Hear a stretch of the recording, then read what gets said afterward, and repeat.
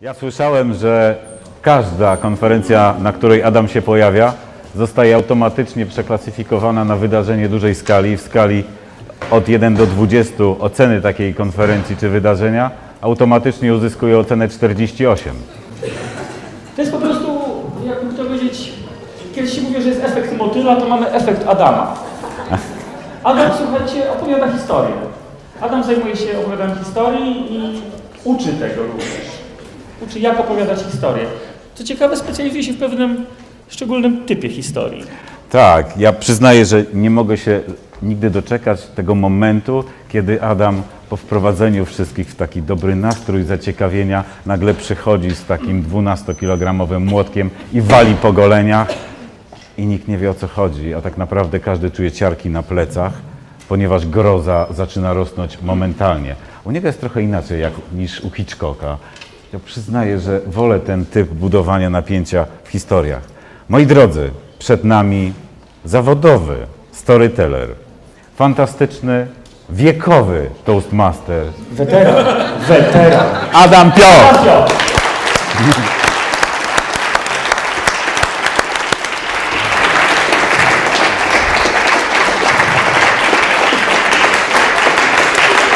Słychać się? Słychać się?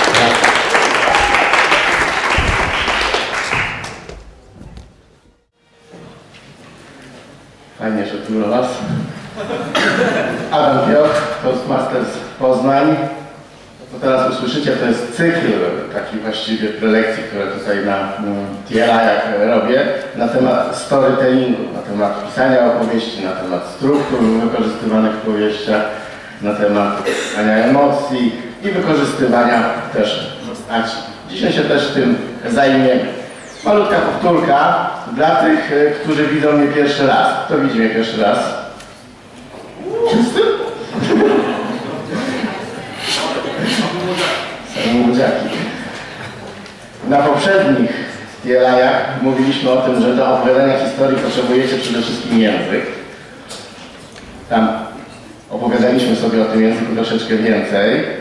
Drugą rzecz, którą potrzebujecie, to potrzebujecie gramatykę. Dowiedzieliśmy się, że gramatyka jest uniwersalna dla wielu języków tym świecie. No i dowiedzieliście się też, że jest coś takiego, co nazwaliśmy monomitem. To już tutaj padło wczoraj na szkoleniu Jacka Banacha. Monomit, inaczej zwany podróż bohatera. Co to jest ów monomit, owa podróż bohatera? Joseph Campbell opublikował książkę pod tytułem Bohater o tysiącu twarzy. Książkę, w której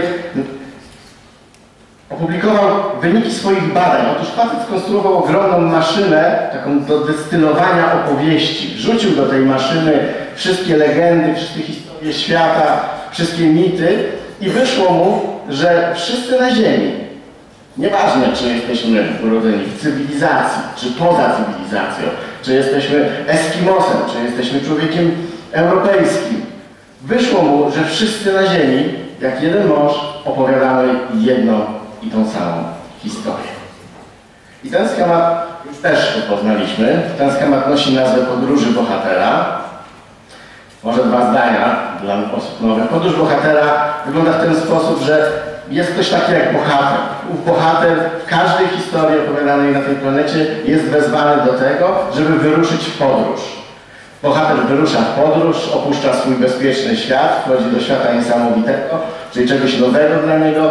Podczas tej podróży w tym świecie ma szereg, no, nazwijmy to przygód, tak naprawdę wyzwań, które musi spełnić, które musi zrobić i gdzieś na końcu tej podróży następuje ostateczna próba. No i z tej próby bohater wychodzi albo zwycięsko, albo ginie.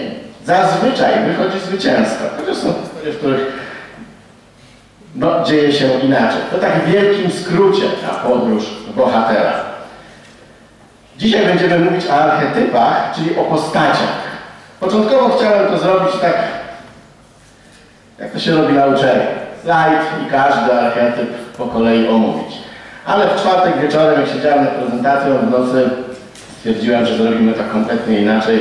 Nie będziemy omawiać sobie tak każdego archetypu, tylko po prostu pójdziemy po konkretnych historiach i gdzieś te postacie się pojawią i będziemy za chwilkę o nich bardziej szczegółowo rozmawiać. Postaci występujące w bajkach, legendach, historiach. Oczywiście jeszcze oprócz bohatera musi się pojawić antybohater. Dlaczego go tutaj nie ma na liście? Bo może być bohaterem, może być każdym z innych archetypów. Co to jest archetyp? Archetyp to jest taka maska, bądź rola, w którą wciela się jakaś postać występująca w historii. Tą maskę można zmieniać. W trakcie historii postać może przechodzić od jednego archetypu do drugiego. Także w ten sposób. Także patrzcie na postaci jako osoby, które niosą jakąś maskę. Przez chwilę na sobie niosą jakąś maskę. No to idźmy dalej. Czego chce słuchacz, jak słucha historii? Na pewno. Chce emocji. Ale to nie jest prawidłowa odpowiedź. Zastanawia, jak się skończy. Tak, na pewno. Morału, sensu. To też jest dobra odpowiedź, ale nie jest prawidłowa. Tak, żeby identyfikować się z historią, chcemy się wczuć w tego bohatera. Tutaj też jeszcze pan. O, to by było nudne. Słuchajcie, bardzo prostej rzeczy. Każdy z Was chce, jak słucha historii. Wy chcecie się bać. Bać o losy bohatera. O to, co zrobi. Jak ten facet podejdzie do tej dziewczyny, jeżeli oglądacie komedię romantyczną. Jak on to zrobi. Wy się wczuwacie w tą rolę i odczuwacie wręcz ten strach. Są, jak wiecie, nie tylko romanse, są jeszcze inne filmy, gdzieś tam na skraju tego wszystkiego. Jest horror, który z definicji mówi, mam ci sprawić podniesienie włosów na skórze, bo od tego pochodzi słowo horror, czyli ciarki yy, i podniesienie właśnie tych włosków. I chcemy się bać, chcemy się wczuć w bohatera po to, żeby chwilę pożyć jego życie i gdzieś poczuć te emocje, te emocje strachu, jak on robi, jak przejdzie przez próby jak te wszystkie wydarzenia będą miały miejsce. Czyli jak siedzicie sobie w komfortowych warunkach w domu, przed telewizorem czy w kinie, w kapciuszkach z herbatką, chcecie jednego, chcecie przeżyć coś strasznego. Chcecie wejść w historię, którą przeżyjecie. Skąd w nas jest ta potrzeba strachu, jak myślicie? Proszę? Ciekawy sposób odrywania się od codziennego życia, trochę się pobać. z chęci nauki przełamywania strachu. Też, też można tak powiedzieć. Słuchajcie, o, mamy to w DNA. Mamy to w DNA. Słuchajcie, jak mieszkaliśmy kiedyś w jaskiniach, ludzie, którzy się nie bali, co robili? Szybko umierali, dokładnie. Jeżeli się bałeś dzikich zwierząt, świata ognia, miałeś szansę pożyć troszeczkę dłużej. Stąd, stąd lubimy, właśnie nie lubimy, stąd to banie się jest taką naszą częścią wspólną gdzieś na tym poziomie genetycznym. W jaskiniach kto się nie bał, nie żył. No to idźmy dalej. Czego szukamy w opowieściach? Jak?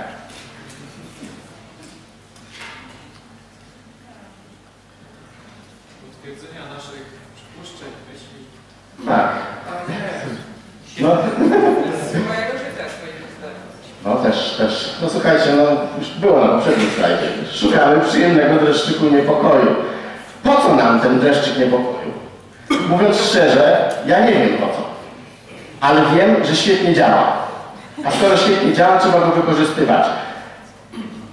Spójrzcie na Biblię. Najsłynniejszą książkę świata o największych nakładach. Wielki pisarz wiedział, jak skonstruować historię. Gdyby opowiadał nam tylko i wyłącznie o raju, to byłoby to nudne. Więc za chwilę co się stało? Wprowadzono węża. Potem nastąpiło wygnanie. Potem był Abel, Cain, wieża Babel. Potop. Same dramaty, same przeciwności literacki majstersztyk, czyli same wyzwania dla bohaterów, dla ludzi, którzy w tych historiach występują. Jak widzicie, Bóg doskonale zna się na niuansach pisarstwa, opowieści, więc uczcie się, że tak powiem, od najlepszych. W końcu ma ogromne nakłady. No to idźmy dalej. Tak czy siak kręci nas w opowieściach co? No. Dokładnie. Przyjemność obserwowania, jak może się rozegrać dramat. Czyli to, co się w tej historii wydarzy, to, co będziecie pisać, będziecie opowiadać. Kręci nas właśnie ta przyjemność stania z boku, obserwowania, jak dramat biegnie i jak zachowa się ten człowiek. Oczywiście wy porównujecie to gdzieś do siebie, czyli co ja bym zrobił w takim momencie, gdybym był tym bohaterem, tą postacią, bądź dodatkowymi postaciami. W takim razie nie bójcie się bać, produkujcie strach w ogromnych ilościach, tworząc swoje mowy, historie, nawet proste historie, które często w klubach się opowiada o podróżach, o, o wycieczkach, które gdzieś tam w życiu mieliście. Poszukajcie jakichś w nich właśnie tych elementów, można było się troszeczkę pować, pojawiła się jakaś dynamika, jakiś strach, coś takiego, co mogło podkręcić atmosferę, a nie tylko zwykłe opowiadanie o, o zdjęciach czy o takich tam lajtowych sprawach. Nacechujcie swoje opowieści czymś, co my jako ludzie będziemy postrzegać jako odrobinę strachu, a wtedy ta opowieść będzie dla Was o wiele bardziej ciekawsza. Znaczy ciekawsza będzie dla kogo? No dla nas, dla widzów, nie? Bo opowiadający wiadomo też gdzieś jakąś frajdę z tego wszystkiego będzie miał ku uciesze słuchaczy, macie to mówić. No to idźmy dalej. Słuchajcie, płyniemy na tej samej łodzi. Wszyscy na świecie płyniemy na tej samej łodzi i poddajemy się jednym i tym samym siłom. Te siły też występują w opowieściach. Jakie to są siły, jak myślicie? Rządza. Nie. No też, ale tak już konkretnie już. Proszę dalej. Jak? Przeznaczenie. Przeznaczenie. No niektórzy mówią, że nie ma przeznaczenia, nie? No jest jedno, w sumie... O, umieranie, jest na liście. Ale jeszcze dwie rzeczy są na liście. Proszę? Plotki? Podatki.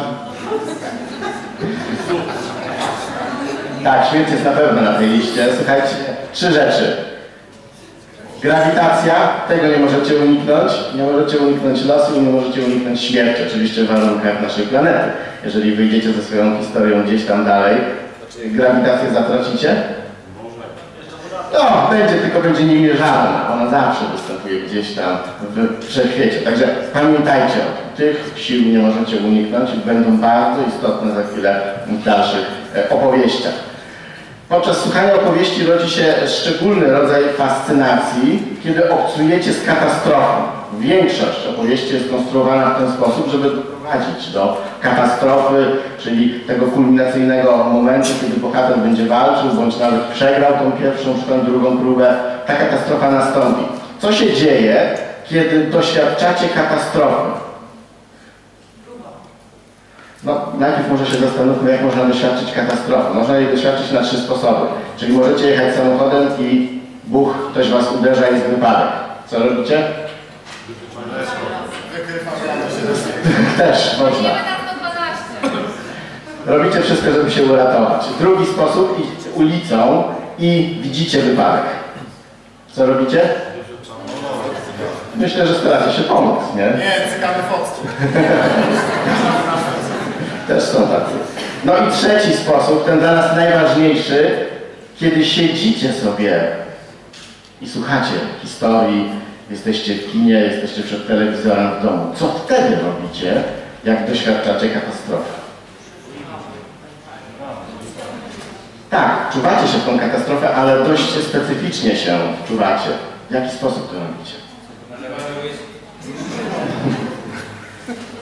Patrzycie, jak ktoś poradzi sobie z tym nieszczęściem i porównujecie, co wy byście zrobili w obliczu takiego nieszczęścia. I przede wszystkim przyglądacie się z ulgą, że to nie was spotkało. Gdzieś w duchu odczuwacie przyjemność patrzenia na katastrofę. Za chwilę zobaczycie, jak mocno odczuwacie przyjemności płynące z katastrofą. Okej. Jeżeli historia obfituje w dużo dobrych, mocnych katastrof, to mówicie, że takie dzieło, taka opowieść jest spektakularna.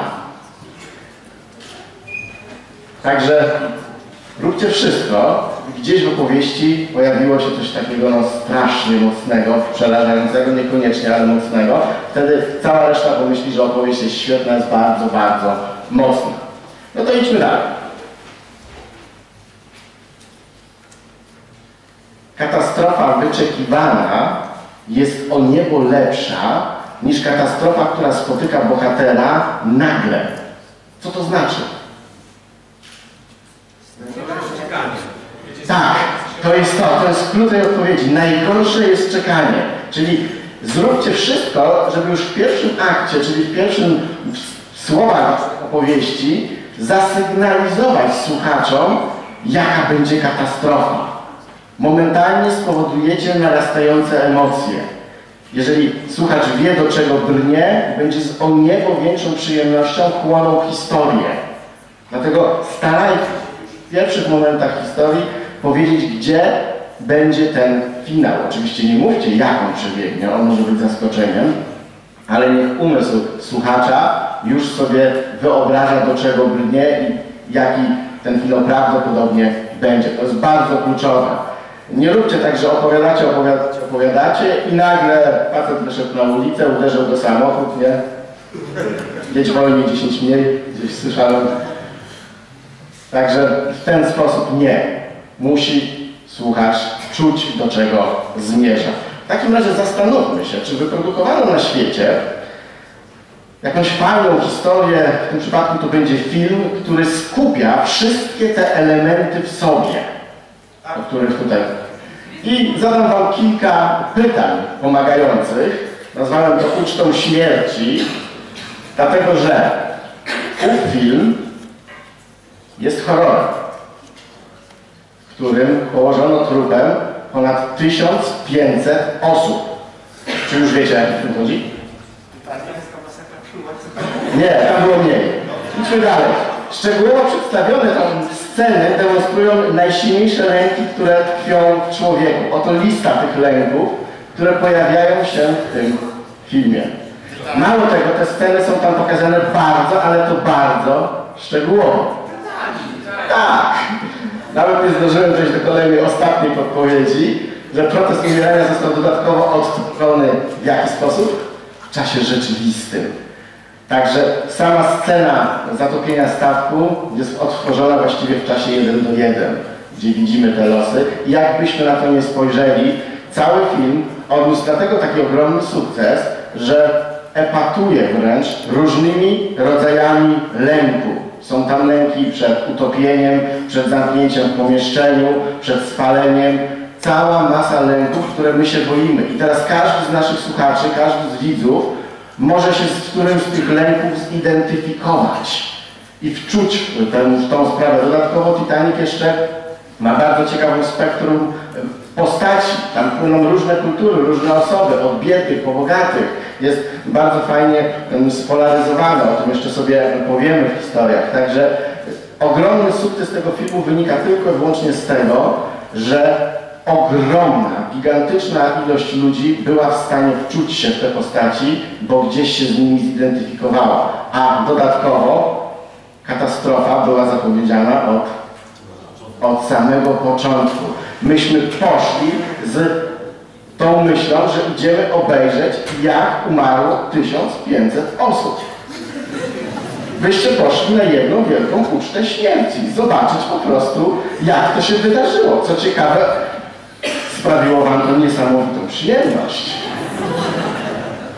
Gigantyczną przyjemność. Kto z was widział Titanica więcej niż dwa razy? O, ale lubicie.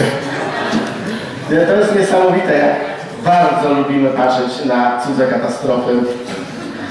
Przeżywacie gdzieś z boku, cieszyć się, że to nie my, bo gdybyśmy tam na tym Titanicu byli, to by już tak dużo nie było. Nie? Ale jeżeli jesteśmy bezpiecznie, nie, w ciepłych pieleszach, bamboszkach, to przyjemnie się patrzy, jak ci ludzie tam spadają, te barierki się rozwijają, nie, toną, jak on zamarza. Te wszystkie sceny nas gdzieś tam w jakiś sposób na takim poziomie dogłębnym, no niestety podniecają, kręcą. Także musicie e, o tym pamiętać. Cieszą nawet. A, nie cieszą. Słyszałem, że cieszą. Bo sobie to tak jest, wbrew pozorom. Jest. Nie chcę się do tego przyznać. Sprawia nam to przyjemność. Sprawia nam to przyjemność. Musicie o tym wiedzieć i wykorzystywać to świadomie w naszych historiach. I teraz zrobimy ciekawą rzecz. Opowiemy sobie historię To będzie troszeczkę dłuższa historia, bo jak wiecie, to zawsze były takie krótkie, po tam te minutki, a ta będzie troszeczkę dłuższa, pełnoprawna e, historia. A po tej historii rozbierzemy ją na czynniki pierwsze, czyli powiemy sobie, co tam się z punktu widzenia twórcy historii działo, dlaczego tak, a nie inaczej zostało coś skonstruowane i za chwilkę się też odpytamy, co się działo no, w Was podczas pewnych elementów. No i zobaczycie, jak świadomie się te rzeczy gdzieś tam wkłada, wplata, abyście no, odczuli te elementy, o których będziemy sobie tutaj e, opowiadać.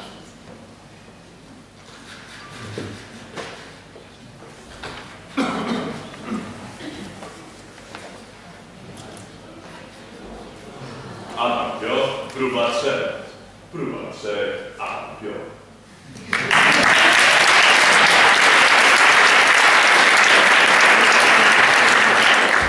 Rok 1944, 6 miesięcy do dnia próby. Transport nowych więźniów wjechał do obozu koncentracyjnego Auschwitz-Birkenau. Ania wypadła wypchnięta z transportu przez innych, którzy tłoczyli się w tym wagonie. Ania miała zaledwie 23 lata. Została złapana kilka dni temu i przywieziona w to miejsce. Ania nie wiedziała, co się tam wydarzy. Podczas podróży dowiedziała się w wagonie od innych ludzi, co się dzieje w takich miejscach. Stanęła z najstraszniejszym z możliwych lęków, z lękiem przed nieznanym. Zgromadzono ich wszystkich na placu obozu i w pewnym momencie pojawił się on, anioł śmierci, zwany, nazywany aniołem śmierci, dlatego że gestem ręki albo gestem witki wskazywał osoby, które były niezdatne do pracy, co oznaczało, że trafią do komory gazowej. Bardzo długo się przechadzał, patrzył na wszystkich ludzi i wybierał, wybierał tylko młode dziewczęta. Ania po wyborze czwartej osoby zorientowała się, jaki jest klucz wyboru. W momencie, kiedy się zorientowała, spojrzała na selekcjonera i w tym momencie została wybrana. Rok 1944. Trzy miesiące do dnia próby. Ania bardzo szybko przywykła do warunków obozowych. Zresztą jak sama mówiła, do luksusu człowiek bardzo, bardzo szybko się przyzwyczaja. Ania już więcej nie miała kontaktu z doktorem Mengelem, ale mieszkała poza obozem, została umieszczona poza obozem w eleganckiej willi, gdzie była dobrze odżywiana, miała komfortowe, ciepłe warunki, nie wiedziała w głód, chaos i przerażenie panujące za murami obozu. Od pierwszych dni wszystkie zostały poddane intensywnemu treningowi, mającemu zwiększyć ich kondycję fizyczną. Ten dziwaczny eksperyment w ogóle nie zapowiadał tego, ani co za chwilę stanie się jej udziałem, jak koszmarna rzecz spotka ją za jakiś czas. Pierwsza z uczestniczek eksperymentu po kilku tygodniach opuściła willę, później Ania dowiedziała się od strażników w obozie, że trafiła do komory gazowej. Pozostałe zostały rozstrzelane na oczach pozostałych dziewczyn biorących udział w tym eksperymencie po to, żeby tylko dodatkowo je zmotywować do ciężkiej pracy fizycznej, żeby poprawić ich kondycję fizyczną. Rok 1944. Dwa tygodnie do dnia próby. Ania została wyprowadzona z celi. Szła wąską ścieżką w kierunku czarno buchających kominów z których leciał ogromny czarny dym. Była przekonana, że to ostatnia jej droga, ale wyprowadzono ją z obozu i umieszczono w samochodzie. Podczas jazdy cały czas kołatała jej myśl, a więc kulka w łeb gdzieś w jakimś lesie. Ale nie, została dowieziona na lotnisko, włożona do małego samolotu i po kilku godzinach lotu znalazła się na miejscu. Znalazła się w celi, w celi zamku. Również tam była dobrze odżywiana. Ania nie wiedziała, że wszystko, co ją spotyka, narodziło się w 1918 roku w Monachium. Nazizm był nie tylko polityczną ideologią, ale także religią. Młody Heinrich Himmler był owładnięty tą religią, miał wioła na punkcie szukania świętych grali, dawnych kultur i odkrywania dawnych religii. Stworzył specjalne oddziały SS, które się tylko i wyłącznie tym za- zajmowały. Ci ludzie wbrew pozorom odnosili także sukcesy w swoich działaniach. Nazwijmy to, że roboczo praktykowali czarną magię.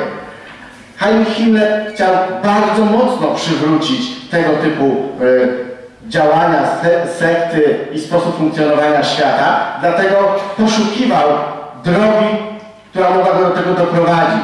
W całej tej drodze pomógł mu Isaac Newton, który wskazał mu, że wiedzy na ten temat trzeba szukać w tak zwanych księgach z wiedzą dawną. Otóż Isaac Newton, znany Wam bardzo zresztą ze szkoły, końcówkę swojego życia już nie spędził na pracy naukowej, ale spędził właśnie na poszukiwaniu tak zwanej wiedzy dawnych cywilizacji, czyli odkrywaniu wiedzy, która tak naprawdę nie była do końca związana z nauką.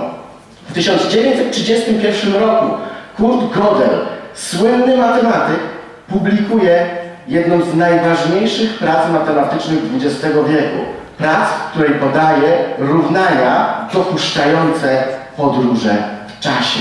Sam Albert Einstein potwierdził prawdziwość tych równań. Himmler robił wszystko, żeby zdobyć wiedzę, jak naukowo odbyć podróż w czasie.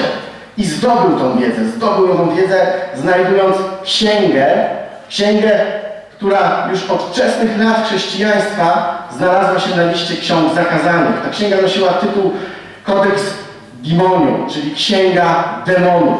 Skąd wiemy, że posiadał tę księgę? Otóż po wojnie ta księga została znaleziona w jego biurze. Dzisiaj znajduje się ta księga w Światowym Muzeum II wojny światowej. Nie jest udostępniona zwiedzającym. Nawet nie można tej księgi zobaczyć w postaci fotokopii. Nadal jest na liście ksiąg zakazanych. Rok 1944. Godzina do próby.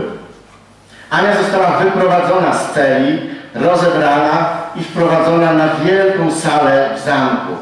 W tej sali znajdowała się dziwna aparatura, której nie wiedziała do czego służy. Dodatkowo znajdowały się też w niej zwierzę, zwierzęta, krowy jakiejś dużej, wielkiej rasy oraz małe wiewiórki zamknięte w niewielkich klatkach. Rozpoczęła się szczegółowo zaplanowana i przeprowadzana procedura wykonania tak zwanej próby trzech. Próby, która miała wyzwolić ogromną energię potrzebną właśnie do odbycia tej podróży. Próbę trzech w dawnych czasach w bardzo prostej formie wykorzystywała inkwizycja.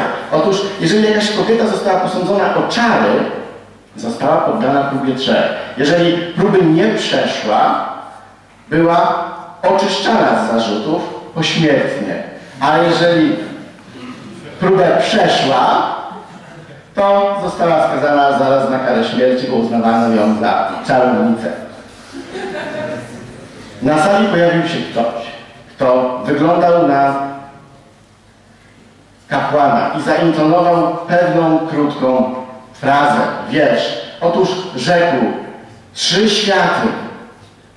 W pierwszym świecie drugi świat, w drugim świecie trzeci świat. Sztuką jest utrzymanie wszystkich światów przy życiu.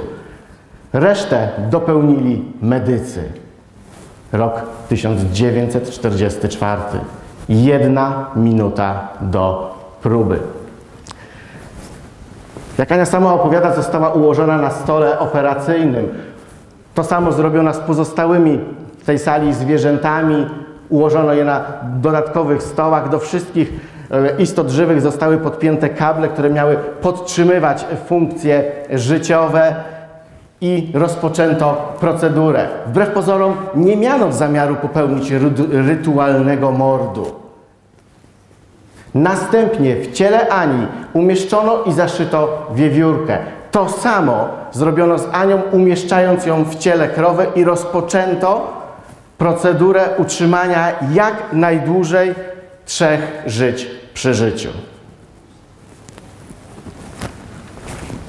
Rok 2015. Zadacie pytanie, czy Ania przeżyła próbę? Czy eksperyment się udał? Otóż eksperyment się udał. Mało tego, mieliście tą historię w wersji długiej, takiej 20-minutowej, ze szczegółami, usłyszeć na legendarnym TLI w Poznaniu. Miała być historią otwarcia.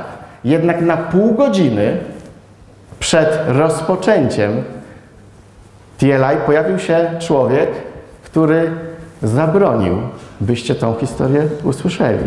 Dlatego nigdy nie dowiedzieliście się, co wydarzyło się zamku i jak przebiegł dalej eksperyment.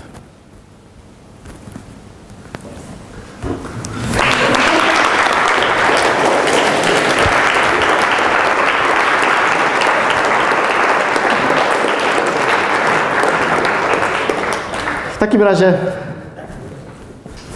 zastanówmy się, jak to było skonstruowane. Czy pojawiły się jakieś emocje, odczucia wewnętrzne? Proszę? Jeszcze wychodzicie z tego, tak? Dobra. Idźmy dalej. Słuchajcie, scena pierwsza. Co to są sceny w opowieści? Sceny to są jakby takie rysunki, jak komiks, czyli rysujesz sobie miejsce, w którym będzie działa się akcja. Musisz sobie założyć, jakie sceny występują w powieściach, opo- opowieściach i podzielić swoją powieść na konkretne sceny, czyli miejsca, które sobie wyobrażasz i w tych miejscach wkładasz akcję. Jak wyglądała pierwsza scena tej opowieści? Tak, wjazd do obozu koncentracyjnego. Dodatkowo sam ten wjazd co sprawił? Że wiedzieliście, jaka będzie katastrofa. Prędzej czy później domyśliliście się, że w obozie no to raczej marnie się to wszystko może zakończyć. Słuchajcie, w historiach ważne jest to, żeby każda scena była od poprzedzającej ją sceny dłuższa. Pierwsze sceny są dość krótkie, a kolejne są już dość mocno rozbudowywane. W ten sposób konstruujemy sceny. No to idźmy dalej. Także historie składają się z scen. Jak myśmy te sceny tutaj obrazowali? Otóż mówiliśmy sobie ten rok i mówiliśmy sobie czas, który pozostał do przeprowadzenia próby. Także w ten sposób mówiliśmy sobie i pokazywaliśmy, że nastąpi zmiana sceny. Przez to nie trzeba było wprowadzać tego dodatkowym opisem, wystarczyło skupić się na tym, co się dzieje podczas tej sceny. Żeby historię uwiarygodnić i sprawić, żeby umysł słuchacza, tego redaktora, o którym przed chwilą była mowa, e, przestał stosować, czyli żeby wszedł w tą historię i się w niej zanurzył, każdą historię musicie uwiarygodnić, czyli musicie włożyć pewne elementy do historii, które sprawią, że wasz umysł zacznie ufać temu, co słyszy, że wasz umysł zacznie ufać temu, co słyszy. I Pierwszym uwiarygodnieniem w tej historii było miejsce, czyli miejsce, w którym ta historia się rozegrała. Historyczne miejsce, które bardzo dużo Wam od razu podpowiedziało o przyszłych wydarzeniach.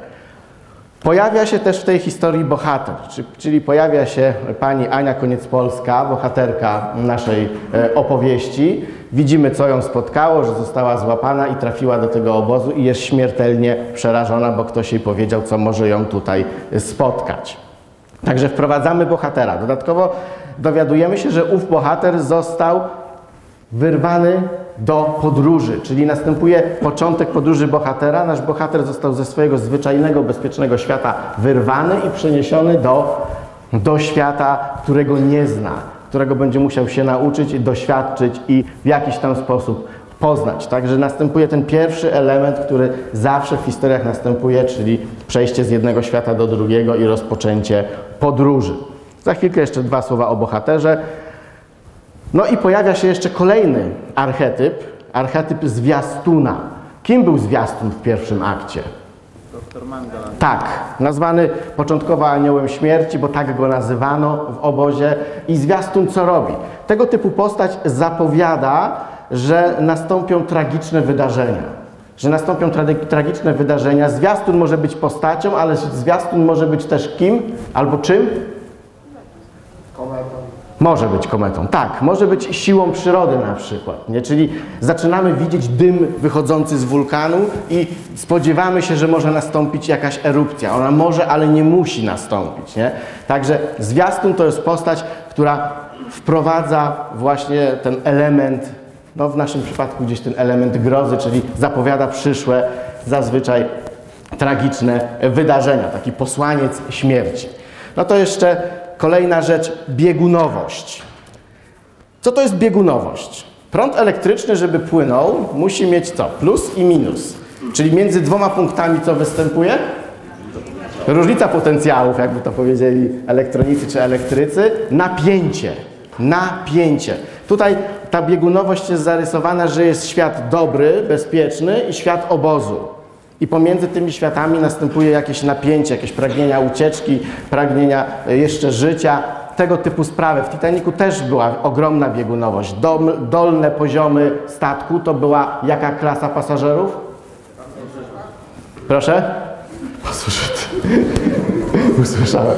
Tak, ta najniższa klasa pasażerów, a im wyżej, tym bogatsi ludzie żyjący w dużo bardziej komfortowych warunkach. Biegunowość Titanicu była zarysowana na wielu poziomach, bo tam była też biegunowość postaci głównego bohatera, który jawił się jako taki drobny opryszek, a potem się okazało, że jest człowiekiem bardzo uczciwym. Także im więcej takich biegunowości, skrajnych elementów, które naturalnie wywołają siłę, mm, to tym lepiej w Waszych historiach. Także dokładajcie biegunowość.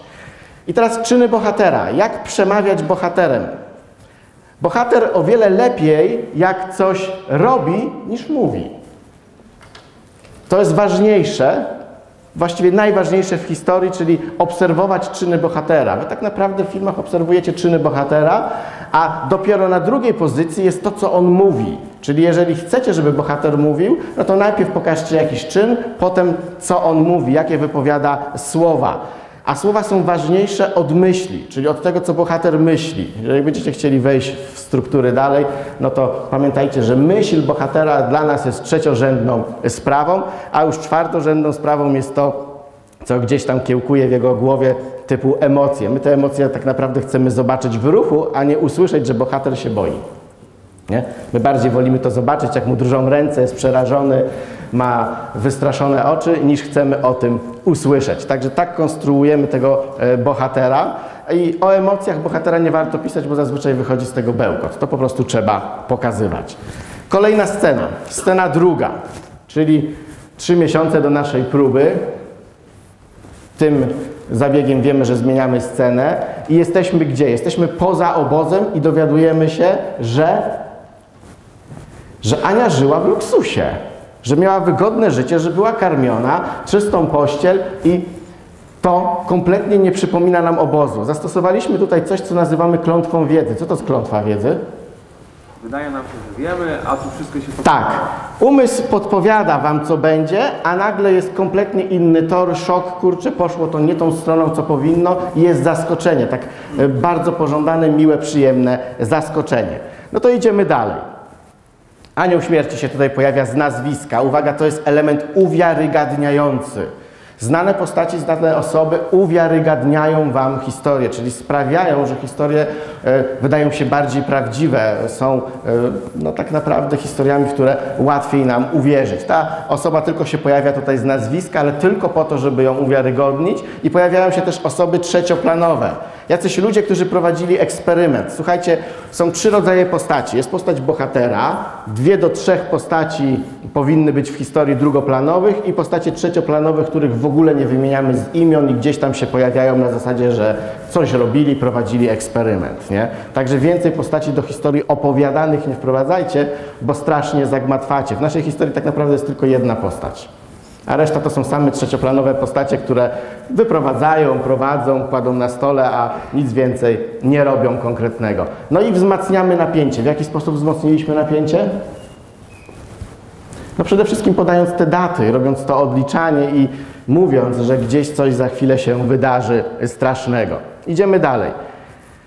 Scena trzecia, znowu widzimy, jak ta scena odróżnia się od innych, jakim hasłem i Jest ta scena, jest to scena, która jest już wyraźnie dłuższa od poprzednich, bo to jest ta scena, gdzie Anię wyprowadzoną i ta cała scena, gdzie mówimy o, o tej całej teorii, czyli mówimy o tym wszystkim, co się historycznie wydarzyło i tam pada cała masa różnych faktów. Tam pada cała masa różnych faktów. O faktach za chwilę, bo najpierw pojawiło się coś jeszcze. Pojawiła się tak zwana strzelba Czechowa. Czy wiecie, co to jest strzelba Czechowa? Opowieściach strzelba Pojawia Czechowa. się w pierwszym akcie, więc w trzecim musimy strzelić? Tak, jeżeli w pierwszym akcie pojawi się na ścianie wisząca strzelba i wy o tym powiecie, to musi w którymś z kolejnych aktów ta strzelba być użyta. Nie wolno wprowadzać do historii rzeczy, które za chwilę nie będą użyte. I tutaj pojawił się zamek, który za chwilę został wykorzystany. Także pamiętajcie, wprowadzajcie tego typu rzeczy. Marek Haremza w swojej mowie wprowadził wam kilka razy strzelbę. Który to był element? Dokładnie, to był ten element. Czyli to charakterystyczne i, i, i, nie? I pierwszy raz usłyszeliście, drugi, trzeci raz wykorzystano tą kapkę dalej. No to idziemy dalej. Wykorzystano też strategię księżyca, czyli świeciliśmy światłem odbitym od postaci. Jakich? Himmler, ale jego światło nas nie interesowało. Bardziej nas interesowało światło e, Newtona, Einsteina i matematyka Godela. To są wszystko prawdziwe postaci, które faktycznie to, o czym była mowa, zrobiły. Także nie było tutaj czegoś, co było elementem wyssanym z palca. I faktycznie istniały takie oddziały i faktycznie tym się trudnili też mm, ludzie, którzy w SS w tych oddziałach pracowali. Zresztą mieliście całą masę filmów o tym, chociażby Poszukiwacza Zaginionej Arki. Kojarzycie, pamiętacie? Chociaż tam się ganiali z takim oddziałem właśnie, który tego typu rzeczy robił. To była potężnie zorganizowana, niesamowita służba. No i księga się pojawia, pojawia się muzeum. Księga demonów. Czy istnieje? Istnieje. A czy istnieje Muzeum Wojny Światowej? Światowe Muzeum Wojny Światowej? Nie. To jest akurat element, który został dołożony, żeby tylko wywołać kolejne gdzieś tam wrażenie, że gdzieś jest ta księga przechowywana. Gdzieś jest przechowywana, ale ja nie wiem, gdzie jest przechowywana. Fakt faktem jest, że istnieje i faktycznie zawiera opis próby Czech, dlatego że istnieją też kopie tego typu czynności gdzieś tam, czy tego typu księgi po świecie. Idziemy dalej. Godzina do próby. I co dalej? Pojawia się kolejna szczelba Czechowa. To są zwierzęta. Te wszystkie, te wszystkie e, wiewiórki i krowy, które się tam pojawiły, za chwilę zostały wykorzystane. Także ten element się powtórzył. Pojawia się inkwizycja, która ma uwiarygodnić próbę. Czy inkwizycja stosowała próbę? Tak, stosowała próbę. Także to jest taka ciekawostka, że faktycznie inkwizycja to robiła. Co, jak się domyślacie, no nie było pewno przyjemne. Pojawiają się też ja- jacyś medycy, lekarze, którzy są tłem, no ale wiadomo, muszą ten eksperyment przeprowadzić, więc gdzieś tutaj z tego słowa się te postaci tutaj pojawiają. No to idziemy dalej. No i cały czas wzmacniamy napięcie, mamy już godzinę e, do próby i następuje dalej scena czwarta, ale następuje coś, co się nazywa przybliżeniem. Dwa przybliżenia nastąpiły. Jakie? Czas do próby, bo została minuta. Tak, nastąpiło przybliżenie czasu, dokładnie. Nastąpiło przybliżenie czasu i nastąpiło przybliżenie do stołu operacyjnego, na którym się to rozegrało wszystko. Czyli ten moment kamera już się skoncentrowała tylko i wyłącznie na postaci i na ostatnich sekundach tego, co spotkało naszą bohaterkę. Była to najcięższa próba, która mu została poddana pani Ania. Co ciekawe, została poddana tej próbie, no jak myślicie, ile razy? Proszę? Nie, raz nie została poddana tej próbie. To jest najstraszniejsze, że ta kobieta to wycierpiała kilka razy. No i teraz idziemy dalej z naszą historią. Nie dowiedzieliście się, co się wydarzyło po, dlatego że zastosowano inny element fabuły, który nazywa się cliffhangerem. Co to jest cliffhanger? Przerwanie w kluczowym momencie. Tak, przerwanie w kluczowym momencie, czyli wiemy, że rozpoczął się eksperyment, wiemy, co się stało i przerywamy. Przerywamy, nie dopowiadamy. Tutaj oczywiście dopowiadamy, e, co się działo w Poznaniu, bo faktycznie miało to miejsce w Poznaniu, że ta mowa nie weszła na e, scenę krótko przed tym legendarnym PLI-em. To odwołanie to jest też element uwiarygadniający, czyli sprawiający, że historia no, jest po prostu e, prawdziwa. I tutaj kończy się użycie też tej szczelby Czechowa. No i teraz tak, w normalnych warunkach mówca taką mowę opowiada i co? I schodzi ze sceny. I z czym wy zostajecie w głowie? Przeżyła czy nie? Przeżyła czy nie? Co się wydarzyło? Nie? Czy faktycznie odbyła się ta podróż, która miała być tym połączeniem tej magii plus nowoczesnej techniki? No i normalnie mówca w tym momencie schodzi, zostawia was z tym wrażeniem tylko po to, żebyście rozmyślali, dumali i byli w tym świecie historii zanurzeni bardzo, bardzo mocno. Ale my tutaj tego nie zrobimy, bo my mamy się coś bardziej, więcej nauczyć o tych historiach, a nie y, y, y, przeżyć, że tak powiem, jakoś tą historię. TLI rozbywa, odbywało się w zamku na wielkiej sali, no większość z Was gdzieś tam była i teraz jest pytanie, czy to się wydarzyło?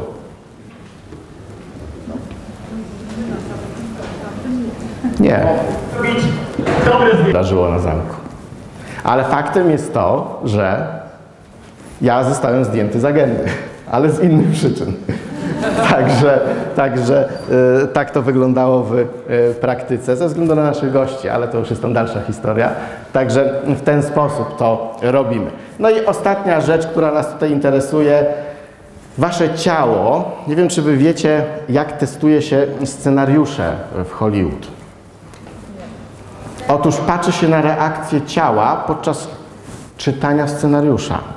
Jeżeli reakcja ciała jest odpowiednia, czyli pojawiają się dreszcze, pojawia się zwolniony oddech, pojawiają się tego typu reakcje, archetypy bardzo ładnie wprowadzają takie reakcje. Popatrzcie, co się dzieje, jak widzicie kota ze Szreka i to jego oczka. Momentalnie jesteście rozklejeni, nie? To jest właśnie to. Y, Oni szukają tego typu rzeczy i jeżeli potrafisz kontrolować oddech słuchaczy, czyli to jak oni oddychają podczas słuchania historii, to potraficie zrobić świetną historię, bo tak naprawdę to się do tego sprowadza i musicie to e, e, umieć robić. Mało tego, musicie to zrobić na co najmniej dwóch organach, nie? czyli oddech powinien na przykład iść jeszcze, nie wiem, z intensywnym łzawieniem oczu. Nie? Także jeżeli oba te elementy występują, to jest to dobry element naszej historii. Czerwoną kartkę już widzę. Miałem jeszcze jedną historię, ale.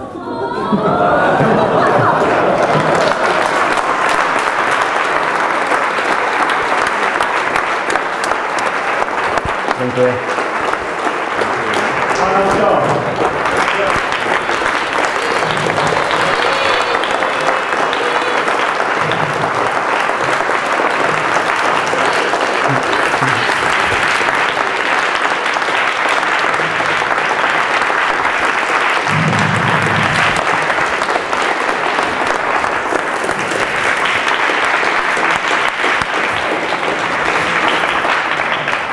Ponieważ tak jak powiedziałem, Adam nie opuszcza żadnej dużej konferencji Toastmasters, zakładam, że w Lublinie będziesz. No teraz już muszę. Dziękuję.